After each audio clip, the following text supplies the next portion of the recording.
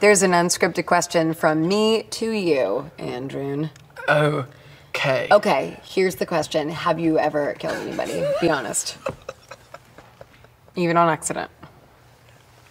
Tell the truth we know. Okay, I think we have the answer to that. That's pretty terrible. All right, no, okay, should I ask a real question? Here's a real question. Do whatever you want. So it's your show. Um, okay, this feels really good. Um, do you, okay, if you, yeah. uh, yes. what Yes. is, all right. No. Okay, okay, okay.